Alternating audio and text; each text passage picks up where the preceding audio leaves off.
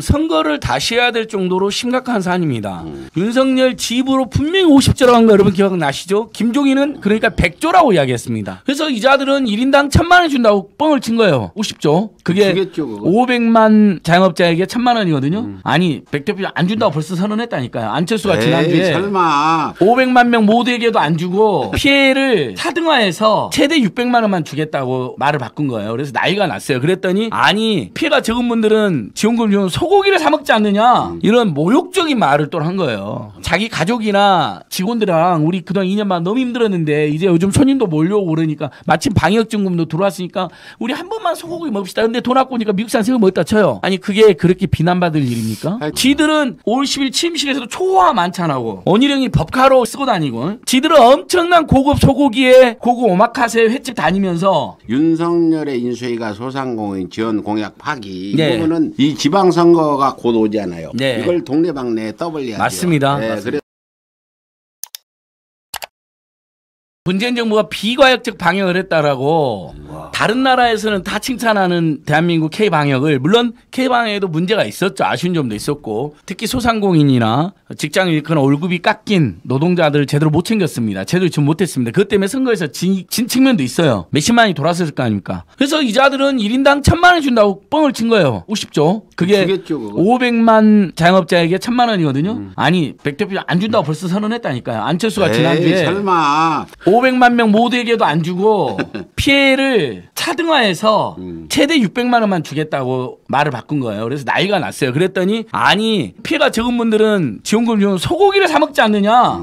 이런 모욕적인 말을 또 한 거예요. 지들은 이번 5월 10일 취임식에서도 초화 만찬하고 원희룡이 법카로 1억 천만 원을 쓰고 다니고 지들은 엄청난 고급 소고기에 고급 오마카세 횟집 다니면서 서민들 중산층들이 특히 소상공인들 2년만 동안 힘들어서 지원금 나오니까 소고기 먹을 돈도 없지만 혹시 먹더라도 만에 하나 먹더라도 직원들하고 너무도 힘들었더라고. 그게 무슨 죄가 됩니까? 그럴 수도 그렇죠. 있는 거죠. 근데 댓글이 너무 짜네요. 우리 우리 소고기 먹어도 미국산 소고기 먹습니다. 500만 소상공인 들에게 천만 원씩에서 천만 50조. 원씩 50조를 주기로 했는데 지금 그것도 600만 원 주는데 선별해서 소고기 예. 안 사 먹을 사람만 해서 밥만 먹을 사람만 골라 주겠다는 얘기인가요? 거의 그런 것이죠. 그러니까 500만 명한테 천만 원 주면 50조잖아요. 그, 그 유명 오- 윤석열 50조, 김종인은 심지어 100조까지 하겠잖아요.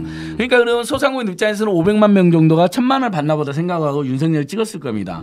10%만 영향받았으면 50만 표입니다. 그러니까 이 선거 다시 해야 돼요, 여러분. 윤석열이 50, 천만 원 준다니까 찍은 사람도 꽤 돼요. 실제로 옛날 댓글 보면요. 문재인 정부가 뜨뜨미전에 지원해준다. 저 영업시간 제한도 안 풀어준다고 막 데모 난리 났었잖아요. 점등 시하고 불 켜고 막 소등, 점등이나 소등하면서 예, 장사하고. 예, 예. 그랬는데 지금 500만 명도 아니고 인원도 줄어들고 그것도 천만 원이 아니라 육- 최대 600만 원. 그 다음에 예를 들면 일부에 따라서는 50만 원, 100만 원만 주겠다. 피해액에 따라서 이렇게 이 말을 바꾼 겁니다. 공약을 파기해놓고 그게 문제가 되니까 아이 소고기 사 먹는 사람이 있어서 그런다는 거예요. 카로 김혜경 여사 법카 뭐 10만 원 정도 소고기 사 11만 원, 먹다고 11만 원. 그렇게 난리를 폈잖아요. 아 소고기 하니까 또 기분 나쁘네. 예, 그것마저도 설령 소고기. 11만 원이 나더라도 사적으로 잘못 쓴 게 있으면 이재명 후보는 사과했어요. 감사받겠다. 심지어 감사에 따라서 예를 들면 부당한 지출이면 반납해야 되는 거거든요. 예, 예. 아니, 예. 김혜경 여사가 사과하니까 잘못을 했으니까 사과한 거 아니냐고. 그게 아니잖아요. 도의적으로 한 거잖아요. 네. 그러니까 그 사람들은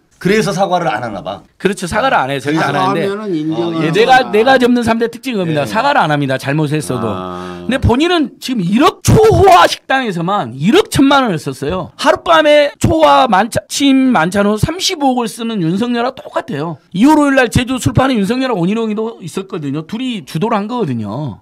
저는 지금도 이해가 안 되는 게, 아, 그 만찬 35억 원이 그 집행이 되기로 되, 되어 있는지는 모르겠지만, 기재부에서 이게 그냥 이대로 그렇게 지나간다는 게 자체가 몇몇 사람들이 비판만 하고 이게 실제로 그렇게 이루어진다는 자체가 좀 납득이 안 가요. 100번 민주주의 양보해서 여야 예산안에 포함이 되었다고 쳐요. 33억 정도가. 그러면 지금 소상공인들한테는 그러니까. 니들이 소고기 사 먹을까 봐 그러니까요. 공약까지 파기하면서 안 주겠다는 자들이 정말 상식적인 대통령이라면 문재인 대통령도 취임 만찬 안 했잖아요. 영원이요, 영원. 예. 코로나 때문에 우리 국민들 다 힘드시고 이제 오늘에서야 노마스크 돼서 또 영업시간 제한 이제 4월 18일이나 풀려서 이제서야 자유를 누리고 계시는데 쓰고 싶어도 돈을 쓰고 싶어도 돈이 없다는 이야기를 내가 들었다. 너무 죄송하다. 일단 소상공인들부터 약속한 600만 원을 드리기 위해서 취임 만찬 예산도 포기하고 그 약속을 반드시 지키겠다. 이게 최소한의 도리인데 자기 이제 와서 뭐라 하는지 알아요? 분명히 50, 500만 명 자영업자한테 천만 원씩 50조 예산 다 기억나시죠? 50조, 100조 얼마나 많이 이야기 됐어요. 그래서 오죽하면 이재명 후보가 그거 그러면 그 윤석열, 김종인 위원장이 공으로 해줄 테니 선거 전에 지불하자, 지급하자 그랬더니 아니, 우린 집권하면.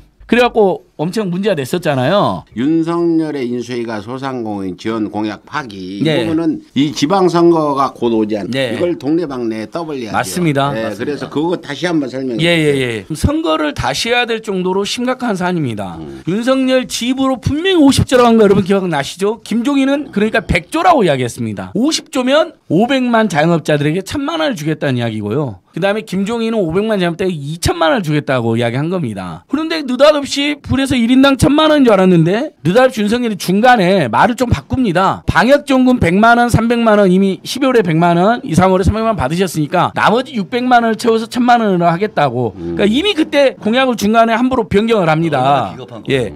그래놓고 그러면 좋아 600만 원 이제 나오기만을 기다리고 있던 소상공인들 입장에서는 느닷없이 안철수가 문재인 후보 비과학적 방역을 했다고 맹비난 하더니 지는 무슨 지가 의사라는 유만으로 지가 무슨 과학 전문 가인 것처럼 맨날 행세하고 윤석열한테 과학교육수석 제안하고 자기는 할 수도 있다고 했는데 그거 아예 받아들이지도 않았잖아요. 예, 맞아요. 엄청난 윤석열한테 수목까지 당하고 있던데 근데 얼굴 마담하고 있으니 한심한 사람인데요. 그 화풀이를 국민들한테 하는 것 같아요. 그러면서 그러면 윤석열이가 하게 하든지 공약 파기를 본인이 나서 갖고 비과학적 문재인 정부의 방역을 규탄한다 그러면서 자기들은 이제 1인당 600만 원을 주는데 공약이 없던 차등해서 주겠다는 겁니다. 소고기 안 먹는 예, 사람만 손실보상금, 손실보상금이 따로 있는데 그건 영업금지나 영업시간 제한당한 분들한테는 주는 건데 손실보상금은 매출 감 소를 감안해서 주기 때문에 그건 차등이 불가피해요 법에 의해서. 근데 방역증금은 문재인 정부에서도 피해액이 얼마인지 상관없이 방역에 애써준 우리 소상공인들을 위해서 특별 1호금으로 준 겁니다. 맞습니다. 예. 그렇게 해서 12월 달 작년 12월에 320만 명이 받았고요. 올해 2, 3월에 332만 명이 받았습니다. 근데 이제 윤석 입장에서는 500명한테 1000만 원 준다 그러니까 소상공인들은 벌써 320만, 332만 다 못 받았잖아요. 못 받은 분들. 그다음에 어, 400만 원만 받았고 아쉬운 분들 입장에서는 아, 윤석열은 500만 명한테 1000만 원씩 준대. 나중에 입장이 바뀌긴 했지만은 그래도 600만 원을 추가로 준대.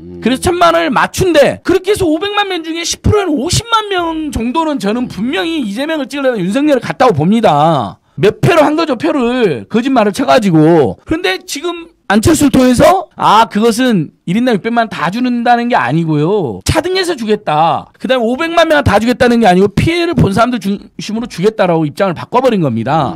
그러면 어떻게 되냐? 이제 속아서 윤석열을 찍은 사람들은 지금 가슴을 치고 후회를 하고 있는 꼴이 되는 것이고 이건 투표를 다시 한번 해야 될 상황일 정도로 심각하다는 거죠. 예, 예.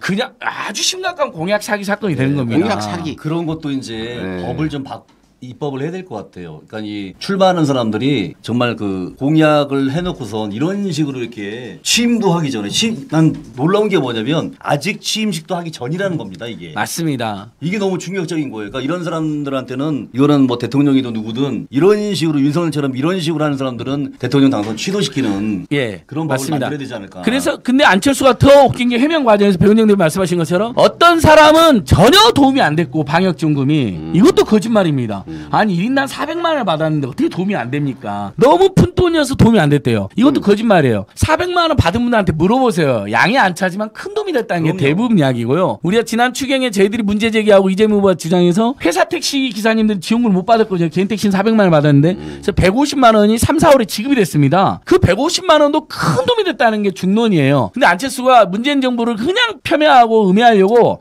하나도 도움이 안 됐다 그러고 한편 어떤 사람 하나도 도움이 안 됐고 너무 작아서 한편 어떤 사람들은 너무 많이 받아서 소고기를 사 먹고 다녔다고 이야기를 해버린 겁니다. 음, 그러면 다시 한번 말하면 소상공인들이 그거 받아도 소고기 안 사 먹었습니다. 왜? 임대료, 인건비, 재료값, 그다음에 은행 대출 이자 갚느니라고 그 돈도 모자라요. 400만 원 받아서도 앞으로 600만 원 받아도. 근데 만에 하나 사 먹었다 쳐요, 소고기를. 아, 예를 들면 소고기 참. 자기 가족이나 직원들이랑 우리 그동안 2년만 너무 힘들었는데 이제 요즘 손님도 몰려오고 그러니까 마침 방역 증금도 들어왔으니까 우리 한 번만 소고기 먹읍시다. 근데 돈 아까우니까 미국산 새우 먹었다 쳐요. 아니 그게 그렇게 비난받을 일입니까? 하여튼 작년 5.18 때 내가 너무 저기 망월동 심각한 5.18 얘기. 묘역에 가서 만나서 안철수를 만나서 내가 야단 좀 쳤는데 올해 가서 또 만나면 제대로 예, 이건 예. 제대로 나는 네, 치고 소고기 얘기 가지고 맞습니다. 취재 좀 한번 예. 하도록 안철수. 당신은 윤석열은 가서 왜 공약하겠냐? 공동 정부로서도 부끄럽다. 당신 내려와라 자리에서 그럴 거면. 그다음에 국민투표, 검찰 수사권 기소권 분리, 세계 추세, 민주주의 원칙에 맞는 그것이 아니라 당신 재신임을 국민투표를 하자. 이렇게 공약하기 막하고 말 함부로 맞습니다. 하고 맞습니다. 김건희 정권으로 전락하고 있는데 완전히 지금 이래야 될 판인 거죠.